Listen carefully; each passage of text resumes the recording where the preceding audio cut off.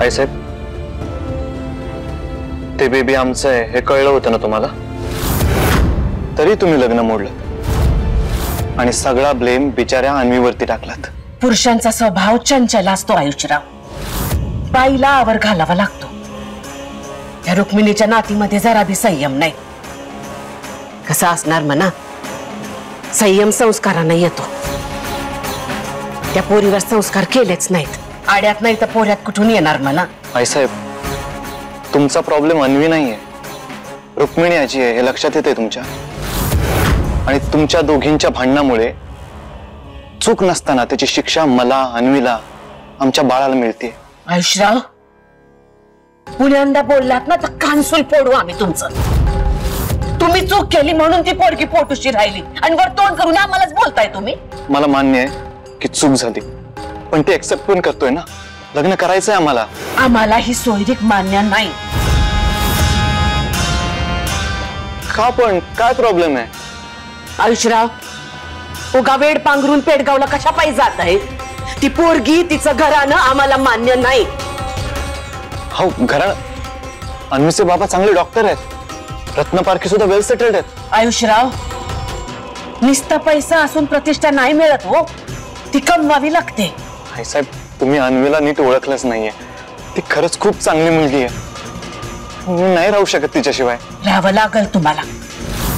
आता यापुढं ती रुक्मिणी आणि तिची नात या दोघींचं नाव बी आमच्या समोर काढायचं नाही. नाव काढायचं नाही? हो बाळ होणार आहे आम्हाला. अशा अवस्थेत एकटं नाही सोडू शकत मी तिला. म्हणून तुम्हाला सांगतेय त्या पोरीचं नाव आमच्या समोर काढायचं नाही.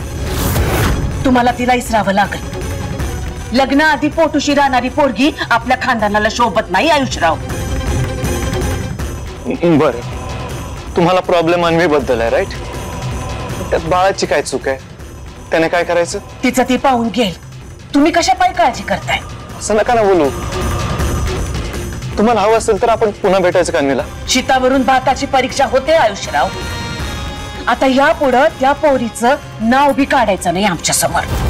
अहो शकुंतला बोलली इशाय फुलस्ता।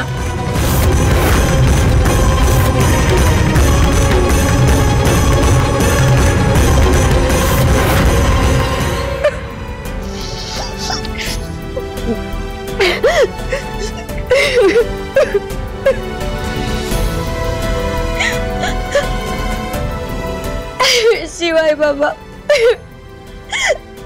प्लीज़ तुम्ही तुम्ही लवकर परत या प्लीज़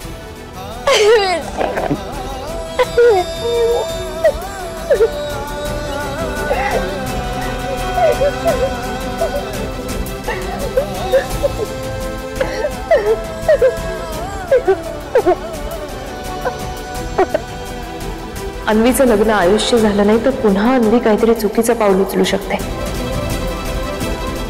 आणि अन्वीला काही राखी ताईंना ते सहन होणार नाही. आता काहीही झालं तरी मला अन्वीचं लग्न आयुष्यच करून द्यावं लागेल. अगदी काकूंची इच्छा नसली तरीही अन्वीसाठी आणि तिच्या बाळासाठी मला त्या दोघांना एकत्र आणावंच लागेल.